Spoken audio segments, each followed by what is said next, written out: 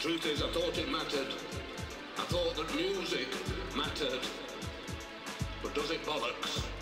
Not compared to how people matter.